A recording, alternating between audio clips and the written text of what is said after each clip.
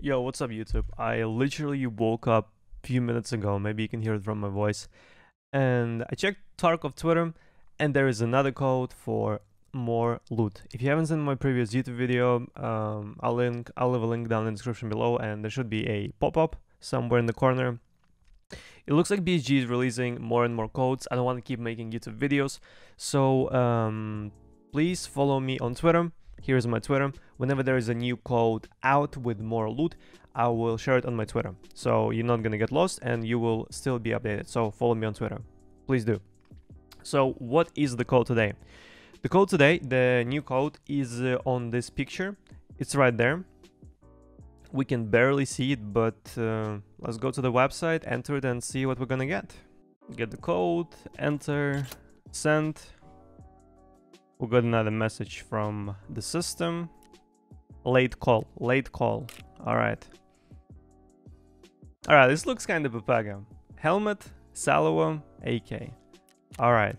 I quite like the first one way more. This looks more promising. Anyway, what does all of these mean, chat?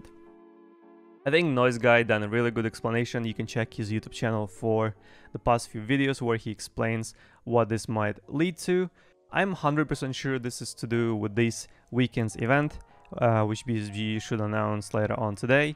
Um, and as it does say death in the air, and we get a lot of meds which do help against poisoning and radiation, Maybe there will be some radiation on a specific map and maybe we'll be able to get some unique items in those areas.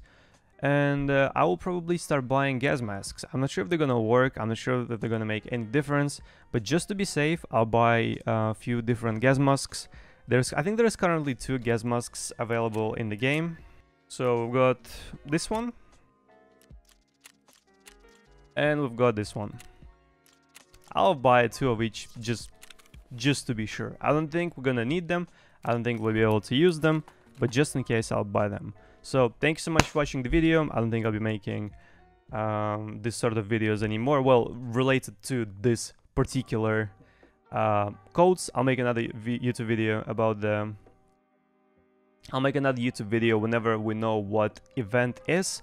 I'll tell you about what's happening, which maps you should go to and what you should check out. As I'm always telling you, I like to keep these videos short and if you are enjoying these videos and you're learning something new, please do follow my YouTube channel and give this video a thumbs up.